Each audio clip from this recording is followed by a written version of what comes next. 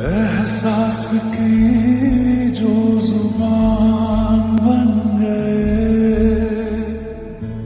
दिल में मेरे मेहमान बन गए। आप तारीफ़ में क्या कर